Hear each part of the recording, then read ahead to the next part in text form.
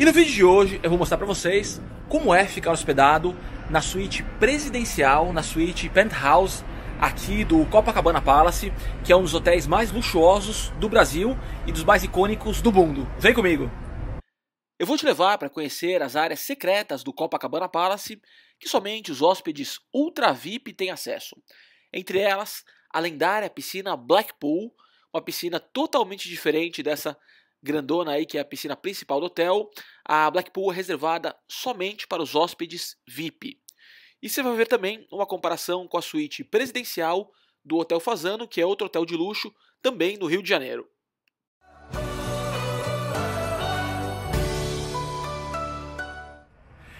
Olá, seja bem-vindo ao canal. O Amadeu já está na área. Hoje, direto da suíte presidencial do Copacabana Palace, um dos hotéis mais luxuosos do Brasil e mais icônicos do mundo. Hotel que é símbolo do Rio de Janeiro. E no vídeo de hoje eu vou mostrar para vocês como é ficar hospedado nesse quarto aqui, nessa suíte que já recebeu famosos como a Princesa Diana, Nelson Mandela, o cantor Steve Tyler, enfim, as principais celebridades é, do mundo que visitaram o Brasil, que visitaram o Rio de Janeiro, ficaram hospedadas aqui nessa suíte. Os hóspedes VIP do hotel entram pela mesma porta, pela mesma porta giratória da entrada principal do hotel. Gente, estou super feliz de estar de volta aqui ao Copacabana Palace. É um dos hotéis que eu mais gosto no mundo, de verdade. Sou apaixonado por esse lugar. E esse aqui é o meu corredor favorito. Olha a vista que ele dá aqui de frente. Que coisa espetacular essa piscina histórica aqui. Olha que demais. Quando a princesa Diana veio ao Brasil, ela ficou hospedada no Copacabana Palace e deixou os seguranças em pânico.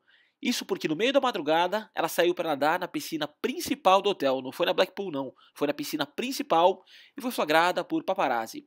E é claro que se a princesa Diana nadou nessa piscina, eu também não podia perder a oportunidade. E se eu vim ao Rio de Janeiro, é claro que eu tive que aproveitar para tomar um champanhe com esses dois aí que eu acho que vocês conhecem bem, né? O Jaime, o Carioca no Mundo, e a Laís do Skyward Freak.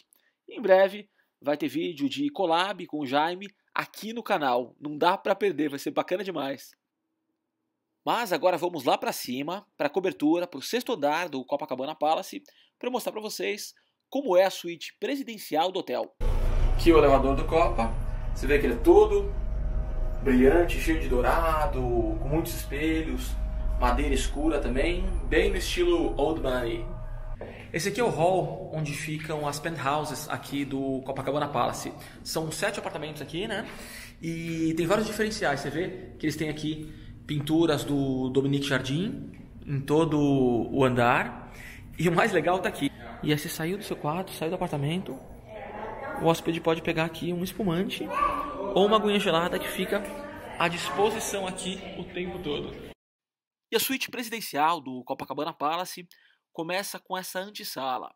É aqui que os hóspedes que estão nessa suíte recebem os convidados, os assessores, é, acompanhantes, eles dão entrevista para a imprensa. Tudo acontece nessa sala. Dessa sala, você consegue entrar para o quarto, que aí sim é a cama onde dormiram aí as celebridades. Agora, olha o quarto, que cama linda, uma cama king size cheia de almofadas ali, com essas pinturas ali atrás também. E aqui sempre tem uma aguinha à disposição do, do, do hóspede aqui do lado da cama, flores também sempre naturais, livros aqui também de artes. E vale lembrar que recentemente o Copacabana Palace foi adquirido pelo grupo francês LVMH, dono de marcas como Louis Vuitton e Moet Hennessy. E aqui tem também esse frigobar todo especial, essa área aqui onde tem as bebidas, isso também tem nos outros quartos, mas aqui ela é maior. Tem essa cafeteira especial aqui também. Tem várias garrafas aqui de whisky, tem Black Label, Platinum Label, Gold Label. E aqui tem uma chaleira também, caso o hóspede queira preparar chás. E aqui vários chás diferentes também da Twinings. Agora, direto aqui da suíte, você tem acesso a esse closet com banheiro, que é espetacular, é gigantesco. Vou mostrar pra vocês aqui. Piso todo de mármore, já viram aqui a câmera. Olha só, esse closet enorme. Piso aqui, como eu falei, de mármore. A quantidade de armários que o hóspede tem acesso aqui. Olha só. Vários espelhos também. Produtos aqui da Aqua de Parma. Aqui os amenities. Aqui bastante cabide para pendurar as roupas. Agora o mais legal tá desse lado aqui. Imagina o que é você tomar um banho aqui de banheira com essa vista. De frente aqui também para o terraço, para a praia de Copacabana. Isso aqui é uma vista que vocês têm que respeitar. E aqui também o chuveiro. O box aqui com a, o brasão do hotel gravado aqui também. Deixa eu abrir aqui para mostrar para vocês. Chuveiro lindo. Aqui um box super confortável. Chuveiro bem confortável, cai bastante água, adoro ele. E é claro que o conceito de luxo varia de pessoa para pessoa.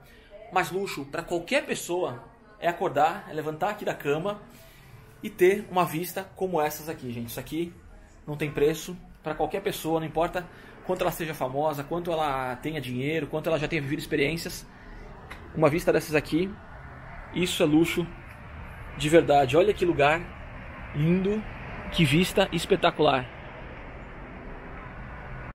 No entanto, o que muita gente não sabe é que o Copacabana Palace tem uma piscina secreta, é a Blackpool.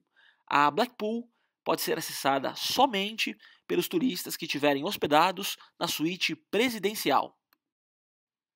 E agora, com exclusividade para vocês, aqui no canal Lucas Amadeu, nunca nenhum outro canal no YouTube mostrou a Blackpool, que é essa piscina aqui, exclusiva para os hóspedes que estão na suíte presidencial. Você vê que o nome dela é Blackpool justamente porque ela tem esses azulejos negros, diferente da piscina principal do hotel.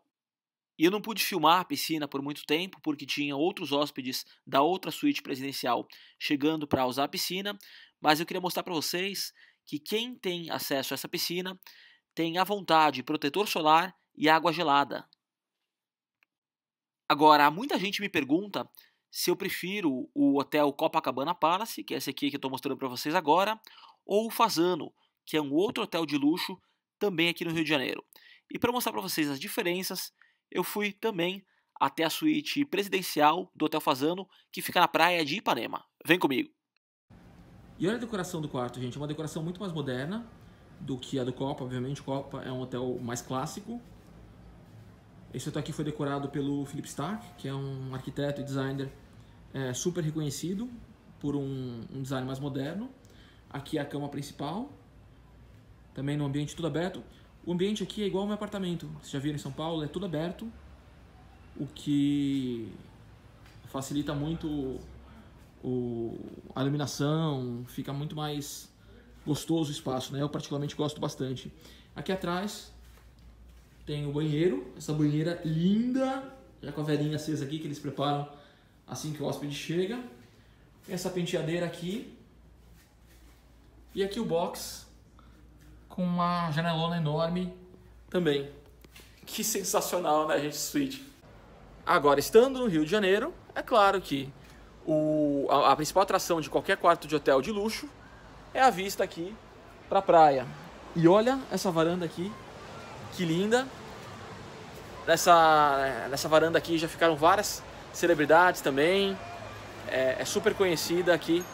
Os paparazzi costumam ficar ali embaixo fotografando os hóspedes estão nesse quarto, famosos quando vêm para cá, para o Brasil. Atualmente esse é o hotel escolhido por praticamente todas as celebridades que vêm fazer shows é, e eventos aqui no Rio de Janeiro. E olha que vista linda. Beijo, gente. Beijo, abraço. Embora a suíte presidencial do Fazano não tenha acesso a uma piscina particular, como é o caso do Copacabana Palace, a vista aqui também é de tirar o fôlego.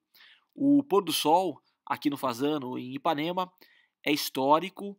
Todo mundo que vem para cá precisa tirar uma foto nesse lugar. Olha só que imagem linda. E para aproveitar a suíte presidencial do Fazano por mais tempo, eu pedi jantar no quarto.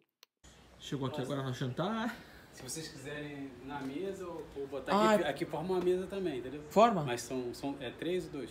São três que vão comer. Então, Melhor na mesa, né? É. Obrigado. Portanto, na minha opinião, O Fazano é um hotel mais moderno, mais sofisticado e que possui um padrão de atendimento melhor. O Copacabana Palace, você percebe muitas vezes um jeitinho brasileiro na forma de atender que acaba deixando o padrão de qualidade cair um pouco. Por outro lado, o Copacabana Palace é praticamente um resort. Você pode passar o fim de semana inteiro lá dentro, nos restaurantes, na piscina, na academia. Você resolve tudo lá dentro. Enquanto Fazano é mais um hotel de padrão internacional. Além disso, o Copacabana Palace é icônico, ele faz parte da história do Rio de Janeiro, da história do Brasil. E olha que bacana, tem uma surpresa que o Copacabana faz na saída do hóspede quando ele faz check-out. Dá uma olhada nesses stories aí que eu postei no Instagram. E olha que bacana, gente, no check-out eles dão aqui essa lembrança, nesse pacotinho, vamos descobrir o que, que é.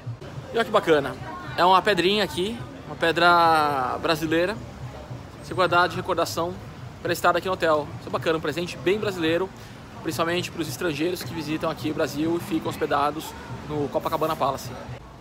E a Amanda Vasco, minha seguidora aqui, ela viu a pedra, reconheceu e me avisou aqui, ela me explicou. É um citrino, que é uma pedra conhecida por trazer prosperidade e abundância. Adorei! E para quem ficou interessado, o preço das diárias, tanto do Copacabana Palace quanto do Fazano, no Rio, começam em 7 mil reais por noite. Até o próximo vídeo, gente.